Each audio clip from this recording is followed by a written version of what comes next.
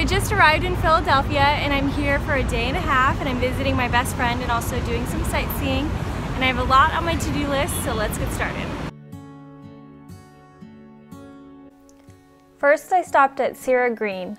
To access it, you have to go through the parking garage and up the stairs to the rooftop. Cira Green is a public park with great views connected to an apartment building.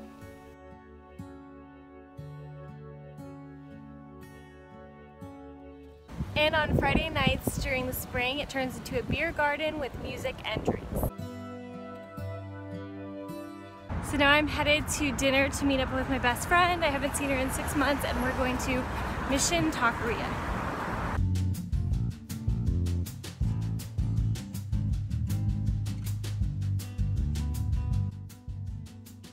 Mission Taqueria has a lively atmosphere and specializes in tacos, margaritas, and agua frescas.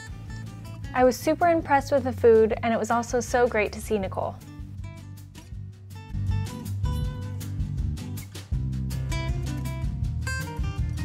We're on our way to Reading Terminal Market and we're gonna get some food. Reading Terminal Market is a public market with over 100 merchants.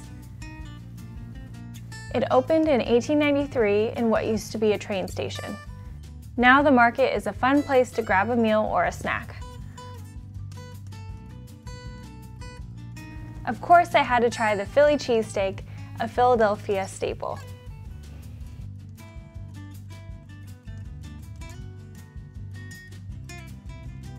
Then we headed to Spruce Street Harbor, which is a park and urban beach along the Delaware River. There are lots of hammocks to lounge in and relax. There are also many food and drink options and ice cream stands. Another Philly classic is water ice, which is a tasty shaved ice treat. The harbor is in an area called Penn's Landing, which has a skate rink, seaport museum and warships, and boat rentals.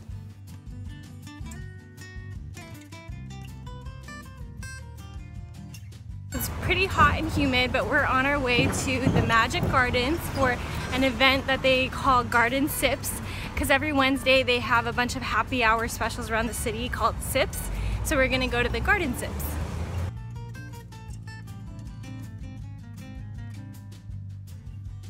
Philadelphia's Magic Gardens is a nonprofit art museum and gallery space featuring the mosaics of Isaiah Zagar.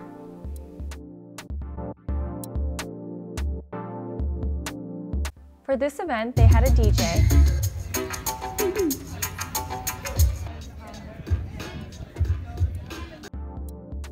snacks and refreshments, and even arts and crafts.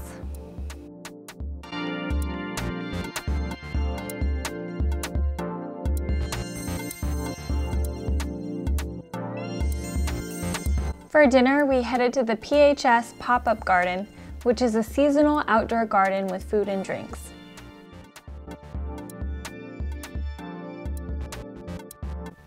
All of the proceeds go to the Pennsylvania Horticultural Society. They have a couple throughout the city. Our final morning, we had just enough time for breakfast before I caught my bus back to New York. We took our bagels to Rittenhouse Square and we're able to relax in this historic park and people watch before saying goodbye.